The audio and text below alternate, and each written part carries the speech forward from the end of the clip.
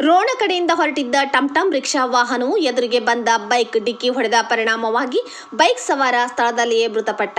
ರಿಕ್ಷಾದಲ್ಲಿದ್ದ ಮತ್ತೊಬ್ಬ ಯುವಕ ಆಸ್ಪತ್ರೆಗೆ ಸಾಗಿಸುವ ಮಾರ್ಗ ಮಧ್ಯೆ ಮೃತಪಟ್ಟ ಘಟನೆ ರೋಣ ಪಟ್ಟಣದ ಸಮೀಪ ಬಾದಾಮಿ ರಸ್ತೆಯಲ್ಲಿ ನಡೆದಿದೆ.